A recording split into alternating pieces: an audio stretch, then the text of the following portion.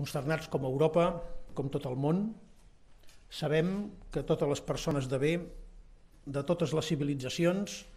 religions i condició social estan avui al costat de les víctimes i estan al nostre costat en aquest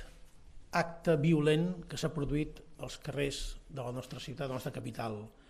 Londres, Brussel·les, París i altres ciutats europees han patit la mateixa experiència. Avui li ha tocat a Barcelona, en un acte que ha deixat més de 90 víctimes, de les quals una dotzena de persones mortes, amb un balanç provisional, 80 que continuen ingressades, 15 d'elles han estat molt greu, i per tant estem parlant d'un eh, acte de dimensions, de dimensions eh, molt greus i que volem condemnar enèrgicament.